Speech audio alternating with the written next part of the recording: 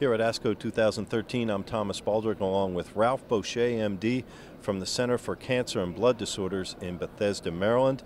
And he's here to talk about his poster on a new delivery system for treating chemotherapy induced nausea and vomiting. Thank you, sir, for coming by. Well, thank you.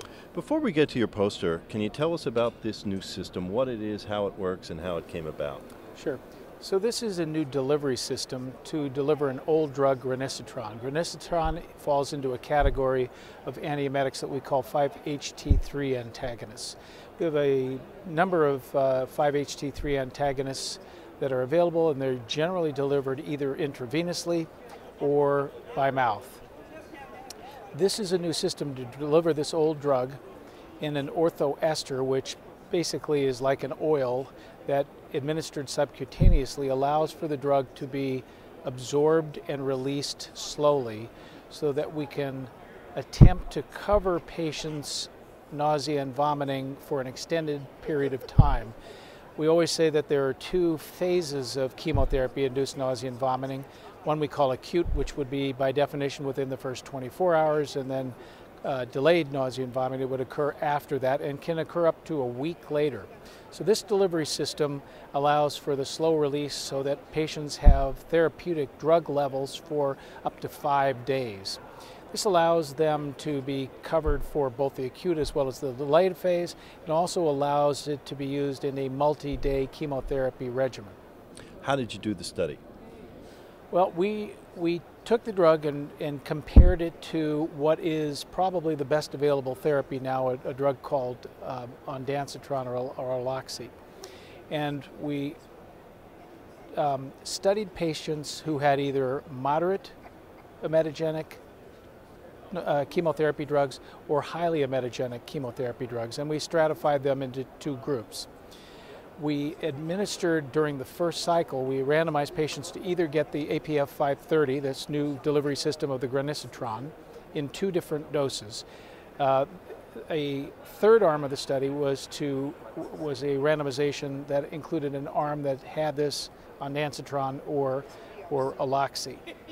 Um, I'm sorry, palonosetron. I didn't mean ondansetron palonosetron. So it was palonosetron versus a 250 milligram dose of the APF 530 or a 500 milligram dose of the APF 30. Again, in groups of patients and stratified by whether they had moderately emetogenic or highly emetogenic chemotherapy. After the first cycle, uh, patients then were randomized um, if they had received the palonosetron or aloxi to the APF 530 drug in one of those uh, two other schedules, and we studied patients for four full cycles. So we were looking at and asking the question of whether we could reduce their acute nausea and vomiting and their delayed nausea and vomiting. And we were able to do that in the first cycle compared to Loxy and those two doses, and then look to see cycle by cycle what happened. Was the drug, did the drug lose its effectiveness? Did it maintain it, or did it build on it? What did you find? What are the results you've been sharing? What we found is that we could completely control nausea or vomiting, what we call a complete response, in about 70 to 80 percent of patients. And that went from the acute phase all the way through the chronic phase. That's one thing we found. We found that it was, quote, not inferior to palonosetron or aloxi, which is considered, I think, by most to be the, the most effective antiemetic in the 5-HT3 uh, class of drugs.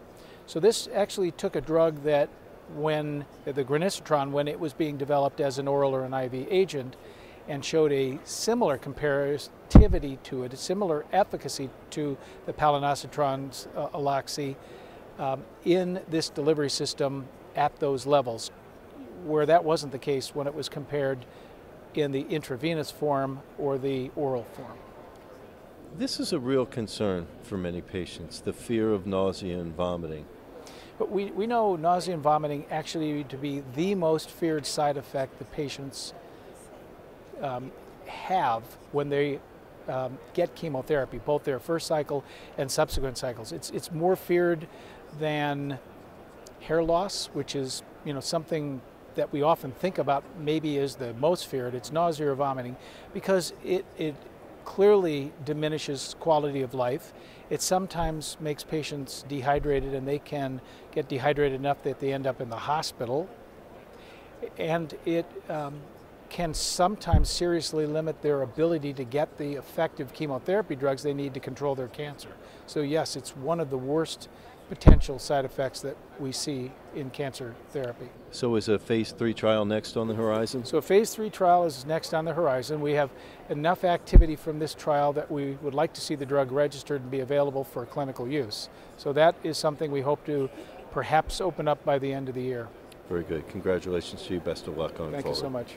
Ralph Boccia, MD, from the Center for Cancer and Blood Disorders in Bethesda, Maryland.